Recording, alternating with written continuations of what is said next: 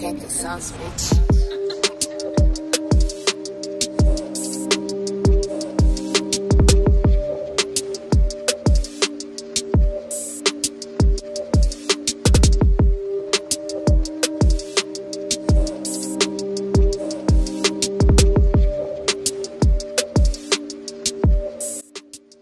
Family, it's Cash Me Out. I am Queen Supreme and I'm back at you again for another video. This time we're going to talk about Aaliyah Cameron. Aaliyah Cameron was found unresponsive in her bedroom after her mother allegedly left her alone while going to work left her in the care of her live-in boyfriend, Mr. Scarlett. Now, because I do not know how to properly pronounce his name, we will refer to him in this video as Mr. Scarlett. However, first, uh, again, I would like to read you an article from Fox 5, and we will look at some video clips in the matter, and then we will, at the end, you know, of course, I will leave my commentary in this story. Now, Fox 5 Las Vegas man accused of killing toddler told police, I know I did this to her. A man accused of killing his girlfriend's daughter told police he felt responsible for her death, according to an arrest report from Las Vegas Metropolitan Police. Mr. Scarlett, 21, was arrested May 26 for the murder after three year old Aaliyah Cameron was pronounced dead at University Medical Center on May 25th. LVMPD was called May 25th at 7:22 p.m. regarding a sick or injured child according to the report. The girl Cameron was quickly transported to UMC and was pronounced deceased at 7:53 p.m. The medical staff noted significant bruising to Cameron's abdomen, face, arms, and cuts to her chin and upper, um, the inside of her lip, lips. Staff estimated Cameron was dead for three to four hours before arriving at the hospital. Cameron's mother said that she left for work about 10 a.m. on May 25th and left her daughter in the care of her boyfriend, Scarlett. Scarlett left let her know via text message that her daughter fell while playing in her bedroom, but that she seemed fine. The mother came back home around 4 p.m. and Scarlett said the girl was in her bedroom taking a nap. The mother also took a nap and woke up about 7 p.m. She told police that she was concerned about Cameron, who was still asleep. Scarlett went to check on her and she was found unresponsive. Scarlett said that Cameron had fell in her bedroom while playing. According to Scarlett, Scarlett began exhibiting flu-like like symptoms, so he gave her some Tylenol and put her to bed. Scarlett later admitted to police that he was frustrated by the girl's crying from the fall. Scarlett said that he forcefully grabbed the girl by her sides and threw her over his right shoulder with her stomach area directly over his shoulder. Scarlett told police that, he squeezed very tightly as he took Cameron to her bedroom. Scarlett then bent down and threw her to the ground so hard that her head bounced off of the floor. Scarlett said that Cameron immediately stopped crying. Scarlett told police I know I did this to her and stated, It looks very vicious. I did that. Scarlett's next court date was set for June 4th, which is already passed, and that was at 8:30 a.m. Now, like I stated, we have some clips in the matter that we're going to look at, and of course, I will meet you on the other side with any follow-up commentary I have in this matter. Let's go. Saturday, someone killed a three year old North Las Vegas girl. Tonight, the girl's father wants justice. Fox 5's Kyla Gaylor talked to him. Yasheen Cameron shares custody of his three year old daughter, Aaliyah, with his ex, the girl's mother. He told me Aaliyah went to her mom's house on Friday. Aaliyah was killed the next day. Yasheen's ex called him Saturday night. She called me with the weirdest phone call I ever got in my life, talking about, uh, uh Um, I don't want you to, to, to, to, think I did this. I don't want you to think I did this. Her brain is out. Her brain is out. Like, her, my, my daughter was severely beat to death. Yasheen Cameron still doesn't know what happened to his three year old daughter, Aaliyah. When he last saw her on Friday, she was perfectly fine. Doing what three year olds do. Her sister and her, they was playing before she left. Left for a weekend with her mother and her boyfriend. Denaggio Scarlett. Denaggio is now behind bars. Court records show police charged him with murder and child abuse. She was so excited. She was so happy at her birthday. I swear to God, she was. Yasheen took Aaliyah to the aquarium last month for her third birthday. Always laughing, always making me laugh. My kids, they comfort me. Say love you, Leah. They mean the world to me. Say love you, sissy. Soraya can barely say Aaliyah, but she never left her big sister's side. They have they share the same room. She looks for her sister every day. My baby is really suffering for her sister. We all are suffering. Aaliyah's stepmom wants answers too. This is her necklace. So I'm gonna always wear it. We are very close. The family saw Aaliyah yesterday at the funeral home. Our baby brain was out. She only three. She can't get her hair done for her funeral. They want to know why Denaggio is the only one charged in the case. She is her mother. That's not her dad. She is responsible because I gave her to her. We need justice. This wasn't the first time Aaliyah ended up in the hospital. In 2017, Yashin told me his daughter was beat so bad she ended up in a coma. He said he tried to fight for full cost for full custody, but he lost. Kyla Gaylor, Fox 5 News, local Las Vegas.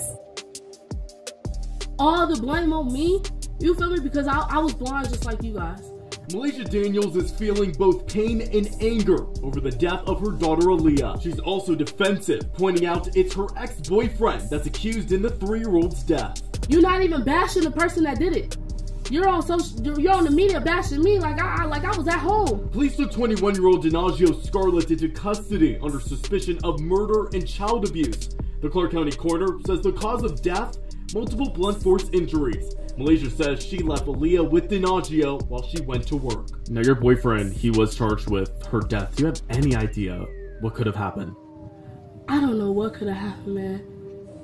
I didn't think he was the type of person that had any anger. I can't defend him. I hate him. Malaysia is defending her own parenting. 13 Action News obtained this document from the Clark County Department of Family Services stating in November of 2017, Aaliyah was removed from her care for protection and allegations of abuse and neglect. Yes, she was placed with my child's father. Okay, she was placed with she.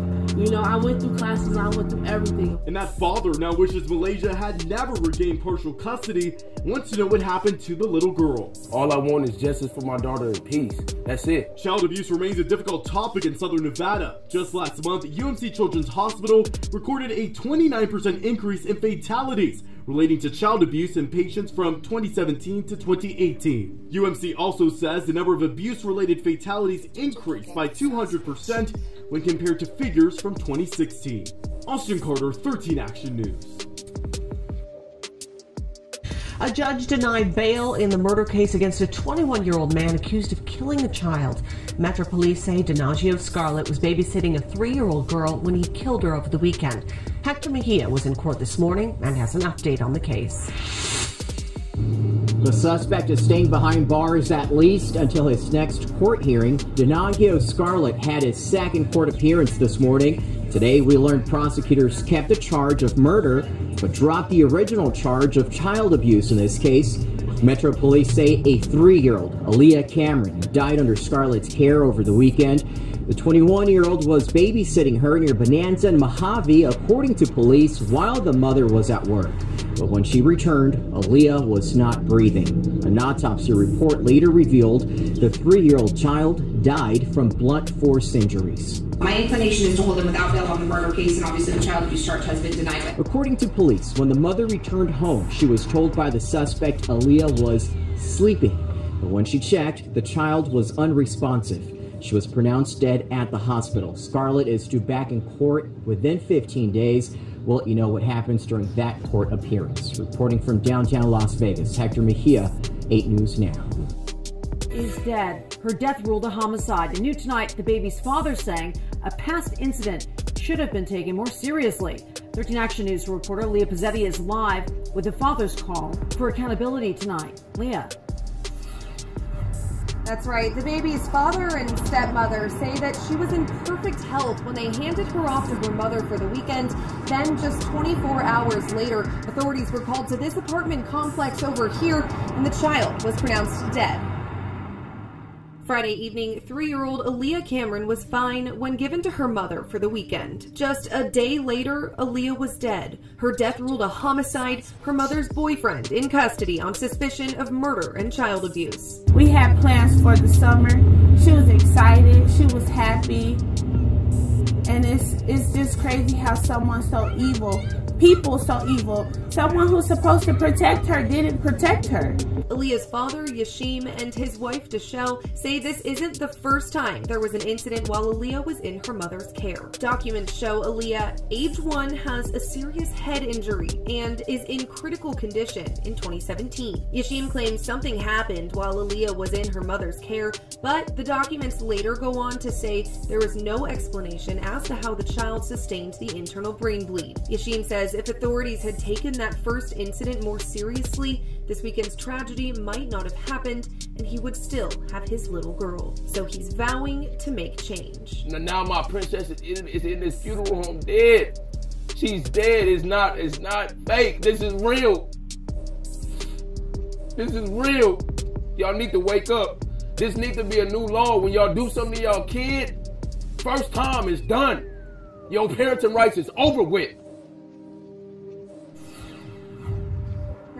Has said that he's made it his goal to create harsher punishment for parents who do abuse their children. We did try to reach out to Malaysia, the child's mother, to hear her side of the story, but no one answered. Reporting live, Leah Pizzetti, 13 Action News. Royal family, we heard from the biological father, and it is important to note that the biological father has basically, you know, custody or had custody of the child due to prior CPS, um, you know, situations that had happened um, where the child that we're talking about, Aaliyah Cameron, had been abused on another portion of time and went into a coma due to that abuse. And also, it's important to remember that this child was only there for the weekend because the dad and the biological dad and, you know, the stepmother, quote unquote, um, in this case, I don't know if they're married. That's why I said quote unquote. It seems like nowadays people will just call people, you know, husband and wife so easily. But I'm not, no shade, no shade. Um, but basically, this child was only there for a short period of time. And this story actually reminds me of a story of a little girl named Shaniya Davis. Now, Shaniya Davis's death was a little different. However, the father basically had, um, you know, sole custody, um, and he allowed the mother to see Shaniya on the weekend. Um, and this one weekend, royal family, Shaniya was molested to death essentially now at some point in time we will look at this kid that case also um because that case is kind of what started me into wanting to be an advocate for children now um the cause of death was multiple blunt, blunt force trauma. She was only three years old, which is definitely sad. However, he had stated that she had fell um, you know, whether he had threw her or not, that she had fell and she was crying. Well, duh, children cry when they're hurt. Now, I do not believe that she fell. I believe that he had beat her. He was tired of, you know, dealing with um, having to watch somebody else's child, which often happens in the world that we live in. And that's why you should be careful about who you allow to watch your children. Um, this shit is sad, royal family. Um, we saw the sister who probably at this point doesn't understand where her sister is. Um, I saw the sister looking at the camera when they were talking about Aaliyah and kind of being looking kind of confused as to why, you know, what was going on. Um, very beautiful little girl at the same time, though. Um, the mother, however, the mother royal family. Now we're gonna start calling bitches that have this type of attitude the Brittany Bowens syndrome, that they have been infected with the Brittany Bowens syndrome. Now, the mother allegedly was at work, right? She went to work at 10, she got home at 4. Um, you know, her little boo boo, her little live in boyfriend, um, told her that her daughter had fell. And instead of going to check on her daughter, she went to take a nap, into which the child, Aaliyah Cameron, was laying there for hours dying. Okay, I don't know how long it took for her death to take place. However, her skull, um, her brain was hanging out of her skull. So to me, if the mother really cared so much, she would have been checking on her child right when she got there. Also, the fact that, you know, this stepdad or this live in boyfriend dude or whatever, Mr. Scarlett, had um, given the baby Tylenol because he had stated that the baby had flu-like symptoms, which would lead you to believe that um, you know, she was throwing up and stuff. And normally, kids or people, period, throw up when they have a concussion, and that may have been due to the concussion or the injuries that were produced by Scarlett. I, in no way, shape, or form, believe that she fell off of anything, not with these um, injuries that she received, the prior um, abuse. We had talked about the coma. We heard about the coma um, and prior abuse and prior CPS being involved. And ultimately, CPS again failed this child royal family on the ultimate level. This is so sad. Um, I did hear about this case at the time, but we were kind of looking into Maleah and I was waiting for more information to unfold royal family.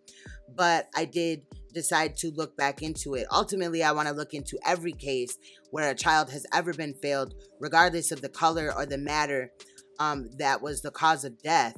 We definitely need to put their information, that information out there and, you know, wake up humanity. These cases are coming very fast, royal family. And salute again to people that are sending me um, stories and stuff like that. Please continue. Um, but make sure that if you do not want me to like state your name as the source um, in the video, make sure that you let it be known that you wish for me not to disclose um, your name or whatever. Um, we, I would definitely um, keep your name anonymous if that is um, how you would like it to go.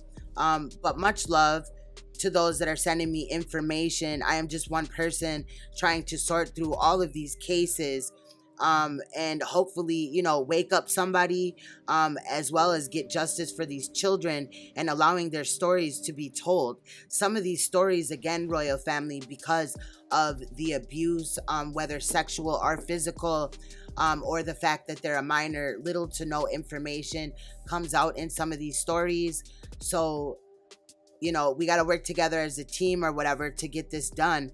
However, much love and thank you for all the support that everybody is showing um, to my channel, my platform, and my movement that I am starting um, to push for justice for these children.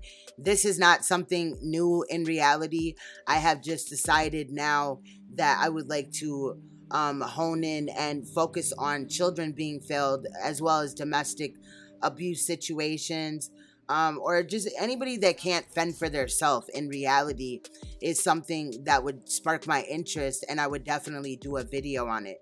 With that said, Royal Family, much love.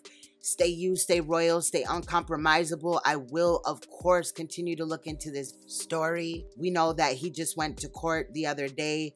So, um, I'm going to continue to look into what happened at that court date. Um, I in investigating this case did not see anything that just jumped out at me. Um, even when i entered these clips in today and searched her name and stuff like that on youtube i didn't find any additional clips you know far as after court or whatever had taken place. So with that said please um be ready for an update because when I get updates or any information in any of these cases that are stated, I will definitely expound on those. Much love. Again, stay you, stay royal, stay uncompromisable, stay woke, take care of those kids, and I will see you in another video. Much love.